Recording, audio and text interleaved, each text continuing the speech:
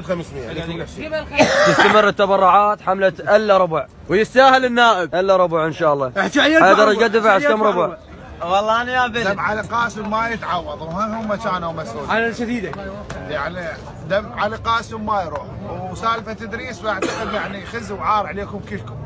كل السياسيين بما فيها. ننتقد ونبقى واضحين وبالساعة. وها شفتوها على ارباع ترى هي القضية مو قضية ربع قضية رسالة. مبدأ وقضيه انتقاد بشكل سلمي حضاري منطقي.